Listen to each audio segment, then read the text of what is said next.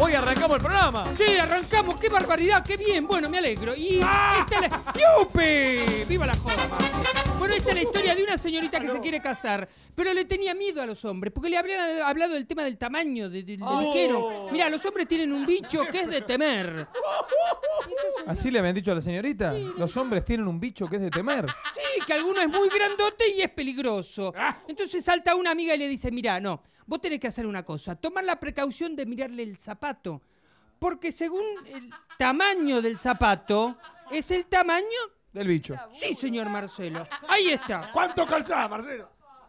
Yo calzo 45 y medio. Muy bien, bravo. zapato, yupi. Bueno, ¿Y a la y se, gran? se va a buscar novio. ¿Y a la gran cuánto calza? Tita. Vamos, vamos. Va, No, que viva la joda. Vamos, vamos. Y se va a buscar novio y ve está en el boliche, entonces está ahí parada y viene uno a sacarla. Baila, señorita, la mira, le mira al timbo, do canoa, no, tomátela, estoy cansada, fuera, fuera, fuera. Viene otro a sacarla, baila, señorita, mira, dos tablas de esquí.